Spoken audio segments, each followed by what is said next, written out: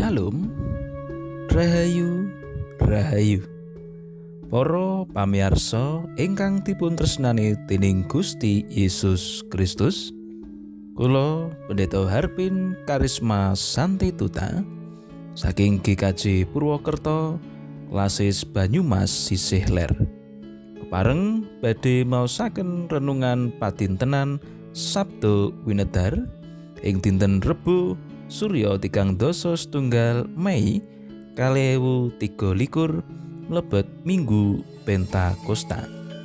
Kasrat dening Bapak Pendito Nunung Trias Tomo. Kanthi jejer banyu urip. Waosan kitab suci ing dinten menika kapendet saking Injil Yohanan bab pitu ayat tigang doso wolu perangan B ingkang mekaten suraosipun.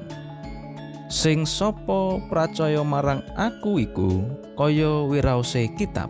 Ilen-ilen banyu urip bakal padha mili saka ing batine. Mekaten sabdanipun Gusti. Para pamirsa ingkang dipun tresnani dening Gusti Yesus Kristus, nalika semono Nyi Putri Galuhwati lan Pangeran Jayakusuma katundung saka kraton Majapahit. Awan wengi mlaku manglon neratas alas gung lewang lewung.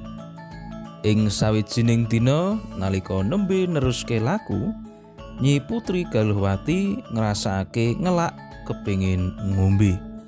Pangeran Jayakusuma sanalika ndudut kris pusakane kang aran Kyai Panubiru saka warangkane lan ditancepke ana ing lemah.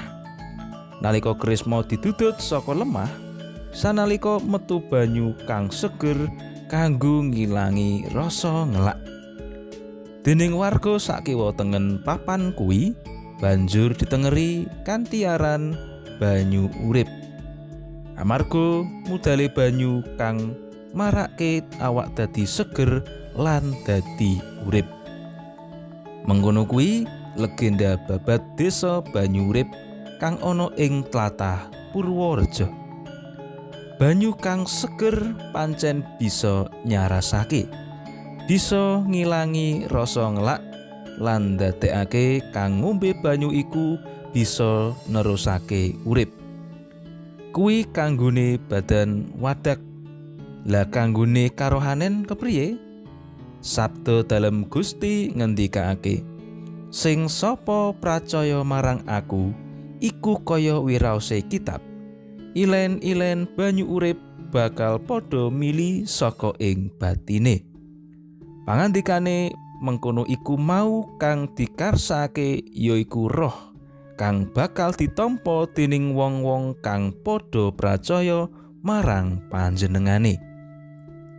Anggere kita pracaya marang Gusti Yesus, kita bakal nampa roh kang saka Gusti Yesus lan roh suci kuwi kaya dene ilen-ilening banyu kang ora tau asat kang jalari kita seger jalari kita urip. Awit iya roh suci iku kang nuntun awake dhewe supaya bisa urip cunduk karo karsane Gusti awake dhewe ora bakal bisa urip bangun turut marang Gusti menawa ora katuntun dening Sang Roh Suci. Ananging Roh Suci uga ora meksa awake dhewe kudu manut panuntune. Awit awake dhewe kuwi duwe kamardikan kanggo milih. Arep nurut nalika dituntun Roh Suci opo arep mbanggel lan gugu karepe dhewe? Miturut panjenengan apike ing kepriye?